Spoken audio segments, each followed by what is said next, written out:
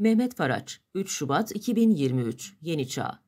Seçim, gerilim, tehdit. Gidişat çok buhranlı ve de olabildiğince gergin. Belirsizlik sadece Millet İttifakı'nın adayı üzerinde parende atmıyor. Seçimi kim kazanacak ve sonrasında neler olacak sorusu da külliyen bir gizem yaratıyor ki bugünlerde çarpıklık adına ne yaşansa puslu havanın hatrına mübah sayılıyor. Çünkü garabetler bitmiyor ülkede. Memleketin yarısı açlıkla mı mücadele ediyormuş, geçim sıkıntısı yuvaları mı yıkıyormuş ve hayat pahalılığı zamlarla kangrenleşiyor mu, pervasızların hiç de umrunda değil. Memleketin gidişatı nasıl çukurlarla dolu bir yolda zıplaya zıplaya gitmeye çalışan, takatsiz kalmış hurda bir kamyonu anımsatıyorsa, rantiye vurgun, haksızlık uğruna her yolu mübah sayanlar da pervasızlığın kirli yollarında dört nala koşmaya devam ediyor.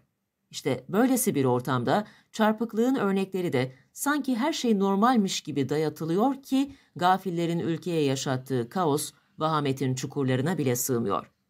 Ülkenin son günlerde konuşulan tek siyasi meselesi kendi partisinin tarihini faşizmle eşdeğer tutan Truva kısrakları ve parti liderlerine çocuk tecavüzü üzerinden yüz kızartıcı hakaretler eden siyasi müritlerin rezaletleri değil.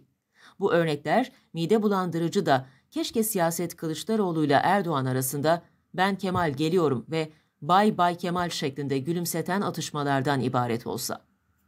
AKP, ekonomi, gidişat. Siyaset öfkeyle ya da espriyle ısınmaya devam etsin ama piyasadaki yangın seçim yaklaşırken bile ocaklara ateş düşürmeye devam ediyor. İşte yazının başında sanki her şey mübahmış gibi dayatılan pervasızlığa niçin dikkat çektiğimizin kanıtları da ortalıkta at koşturuyor. Ulaştırma ve Altyapı Bakanı Adil Kara İsmailoğlu, dünyanın gelişmiş 10 ekonomisinden biri olmayı hedefliyorduk ama Türkiye'nin bu gidişle dünyanın en büyük 5 ekonomisinden biri haline gelmemesi için engel yok demiş. Çünkü Cumhurbaşkanı Erdoğan, benim alanım ekonomi, neticesi ortada diye konuşmuş. Medya bu iki konuşmayı tartışırken ülkenin sosyoekonomik açıdan ahval ve şeraitini en çarpıcı biçimde dışa vuran açıklamalar, rakamlar da çok şey anlatıyor. Çünkü 2022 yılında 60 milyon kişi sosyal yardım alabilmek için devlete başvurmuş. Çünkü insanlar en ucuz gıdaya bile ulaşamıyor. Baksanıza Türkiye Ziraat Odaları Birliği Ocak ayında 36 üründe fahiş fiyat artışları yaşandığına dikkat çekerek marketlerin cezalandırılmasını istemiş. İstanbul Ticaret Odası'na göre kentte fiyatlar 43 aydır düzenli biçimde artarken yıllık enflasyon da %79'u aşmış.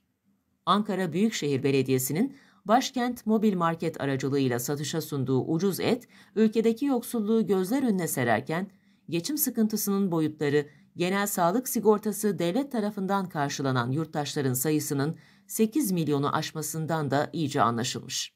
Avrupa'da olaylar sandıkta kaos mu?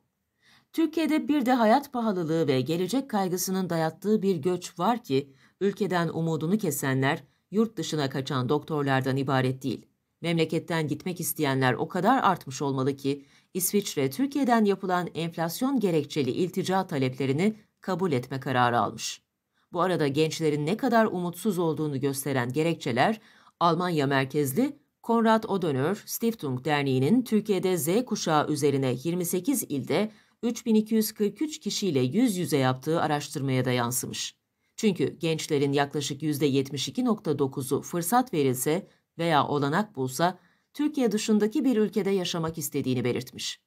Yoksulluk, umutsuzluk ve Avrupa göç ikilemi büyürken yurt dışından Türkiye'ye bakış açısının değiştiğini gösteren kanıtlar sadece ABD ve Avrupa basınının Erdoğan'ı eleştirme bahanesiyle aslında jeopolitik çıkarlar uğruna Türkiye'ye saldırması değil.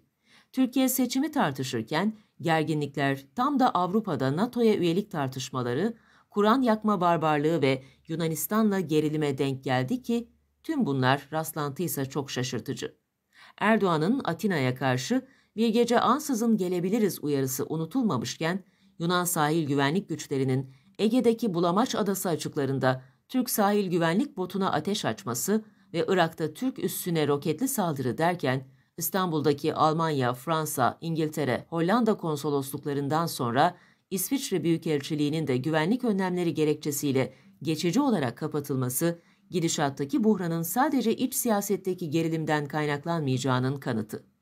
İçişleri Bakanı Süleyman Soylu'nun konsoloslukların kapatılmasıyla ilgili açıklamalarda bulunurken eylem şüphesiyle 15 kişinin gözaltına alındığını ve 5 kişinin tutuklandığını belirtmesi, Türkiye'nin seçimlere giderken sınır dışından hortlatılan bir tehdidin girdabına sürüklenmek istendiğinin de göstergesi. Sözün özü, 2023 seçimleri sadece sosyoekonomik sıkıntılar ve ölüm kalım savaşı gibi algılanan bir siyasi mücadelenin kaosunu değil, milliyetçilik dalgasını yükseltecek dış operasyonların gölgesini de hissedecek.